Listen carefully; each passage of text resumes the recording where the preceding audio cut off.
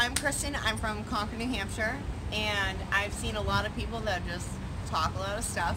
Um, me and a few friends were actually walking by Manchester, and this crazy guy with a bald head just came out and started running his mouth, but in a good way. And you know, it makes you stop and look at what's going on, and just brought us right in. So, um, from a customer service point of view, it's fantastic, and love to see it. It's very refreshing. How's your mudslide? Uh, let's not get into this. Is that what you're trying to do? no, I will tell you. What happened so, the old?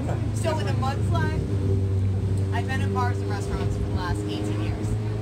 The perfect mix is when you can still taste the alcohol, so you know you're getting what you need, but like it's totally drinkable and enjoyable, like a milkshake. And this is the perfect, perfect concoction. So, well played, sir. And the owners.